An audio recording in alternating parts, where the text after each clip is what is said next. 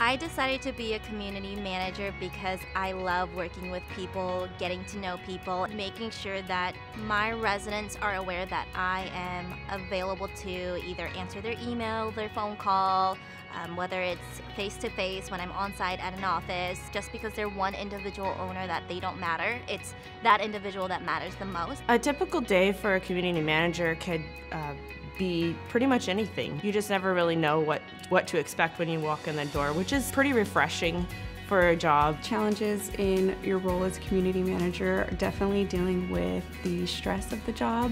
It's really important to not take things personal and really keep it in perspective. At the end of the day, this is the homeowner's biggest investment most of the time, so they're very passionate about their home. It creates a little bit of diversity in your day. So dealing with different personalities, dealing with what's important to them, it keeps you on your toes, and um, it's it's kind of nice to have that um, you know, dealing with uh, different people. It keeps things new and fresh. Some of the qualities that you have to have to be successful in this role is you have to be super organized. You have to be able to prioritize your workload so that you can take on those tasks that come in between. I'm motivated by the residents at my property. So maintaining their property values, making sure they get a great customer service relationship from my team and my staff and from myself, that's the biggest motivation I could possibly have. I have a client that has a phone bill that was $175 and just by making a quick phone call, I got it down to $49 a month. So just trying to improve it for them, making the small changes really helps build trust. I'd say the most rewarding aspects of community management would probably be that feeling at the end of the day that you know you were able to at least make some kind of difference in people's everyday lives. This this isn't their work lives. This is their home their home lives. That's their biggest investment is their home and the communities that they live in. It gets you out of the office. It's not just an office job. You have interactions with a variety of different people. You get to be outside, and it's a good mixture.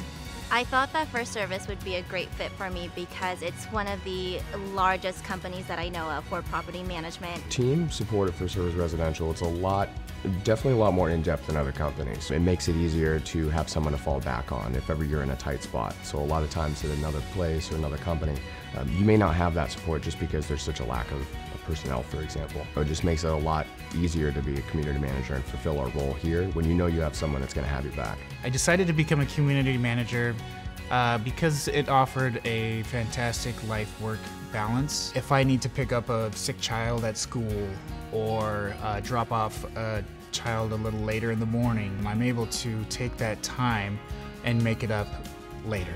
The culture at FirstService Residential looks like a family to me. It doesn't seem like an organization or a company. You know, it's a place that you want to work where you know you have support.